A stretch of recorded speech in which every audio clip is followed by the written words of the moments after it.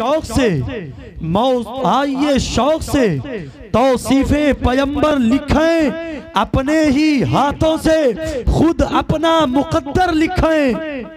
اپنے ہی ہاتھوں سے خود اپنا مقدر لکھیں اور بات توفیق کی ہے۔ ورنہ اگر دے دے خدا، پھر تو ہم نعت نبی عرش کے اوپر لکھیں۔ محبت سے بولو، سبحان اللہ۔ پھر تو ہم ناتے نبی، عرش کے اوپر لکھیں اور کوئی گر پوچھے کہ کون پرند ہے بہتر، کوئی گر پوچھے کہ کون پرند ہے بہتر؟ ارے اپنی مرضی سے مدینے کا کبوتر اللہ۔ اپنی مرضی سے مدینے کا کبوتر لکھیں۔ اور رکھ دیا آقا نے جس پیالے میں دست رحمت۔ رکھ دیا آقا نے جس پیالے میں دست رحمت۔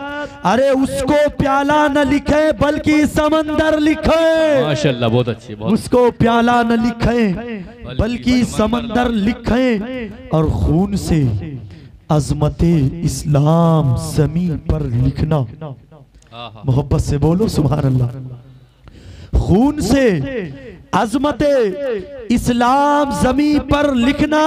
ارے ایسی تاریخ تو کربل میں بہتر لکھے ماشاءاللہ۔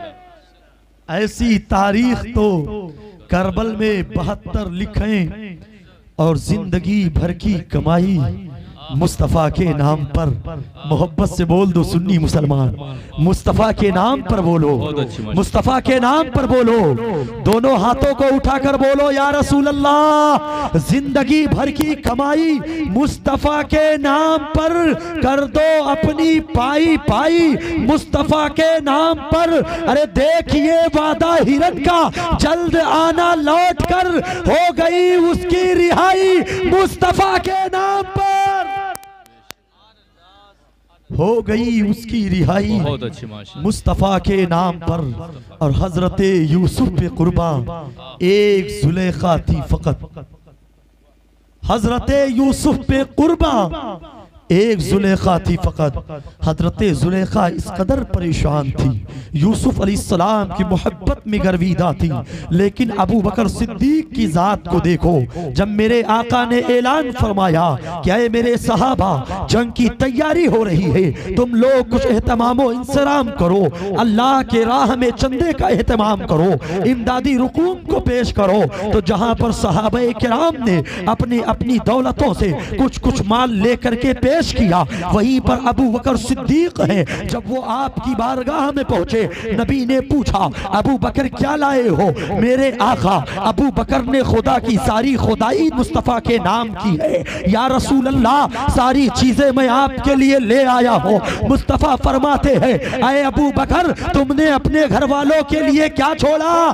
ابو بکر عرض کرتے ہیں، یا رسول اللہ، میں نے اپنے گھر والوں کو خدا کا، خدا چھوڑ دیا ہے۔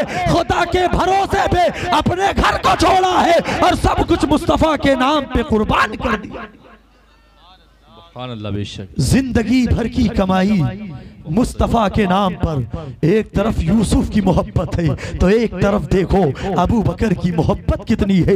ایک طرف اگر یوسف سے زلیخہ کی محبت ہے، تو ایک طرف عمر فاروق اعظم کی محبت کیا ہے۔ ایک طرف اگر یوسف سے محبت ہے، تو ایک طرف دیکھو صحابہ کرام ہے۔ نبی کے نام پر اپنے جان قربان کرنے کے لیے ہر ماحول میں تیار ہے، اور ابو بکر کی ذات وہ ذات ہے۔ اپنے گھر کا سارا اثاثہ اٹھا کر نبی کی بارگاہ میں قربان ہے۔ حضرت یوسف پہ قربان ایک زلیخہ تھی فقط۔ محبت سے بولو نا سبحان اللہ۔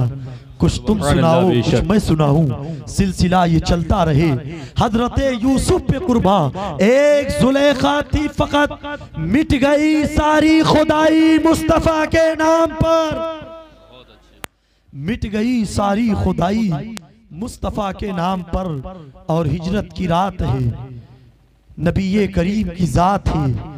بستر خیر الانام ہے سرتاج فاطمت الزہرہ بستر پر آرام کر رہے ہیں۔ صبح جب بیدار ہوتے ہیں تو آپ کا ارشاد گرامی کیا ہے؟ شیر کے تناظر میں ملاحظہ فرماؤ۔ شاعر اس طریقے سے اپنے شیر کو پیش کرتا ہے کہ رات صبح جب حضرت علی اٹھے تو بولے آج رات۔ صبح جب حضرت علی اٹھے تو بولے آج رات۔ ارے کتنی پیاری نیند آئی مصطفیٰ کے نام پر۔ شک سبحان اللہ بہت کتنی پیاری نیند آئی۔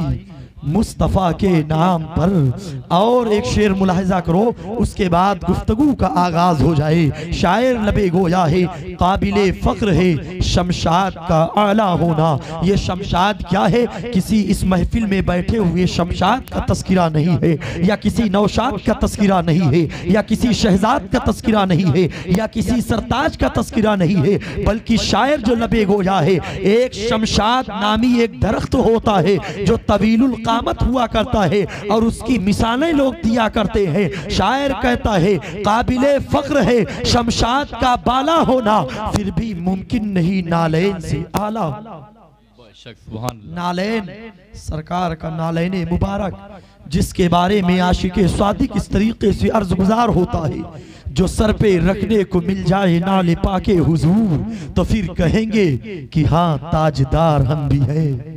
پھر کہیں گے کہ ہاں تاجدار ہم بھی ہیں، قابل فقر ہے، شمشاد کا بالا ہونا پھر بھی ممکن نہیں، پھر بھی ممکن نہیں، پھر بھی ممکن نہیں۔ نالین کا آلہ ہونا، اونچی اونچی تو عمارات بہت ساری ہے سب کی قسمت میں کہاں، گنبد خزرہ ہونا بے شک سبحان اللہ سب کی گنبد میں کہاں؟ گنبد خزرہ ہونا۔